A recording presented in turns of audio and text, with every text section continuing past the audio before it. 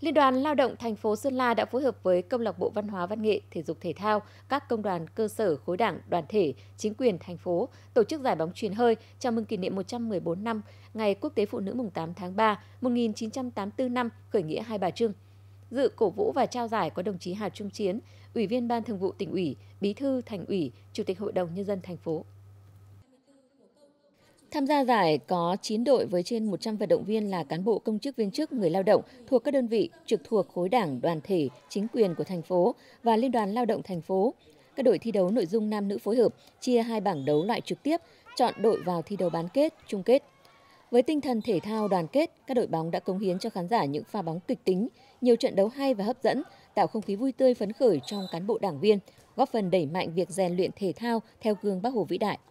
Kết thúc giải, ban tổ chức đã trao một giải nhất, một giải nhì và hai giải ba, năm giải khuyến khích cho các đội thi đoạt giải.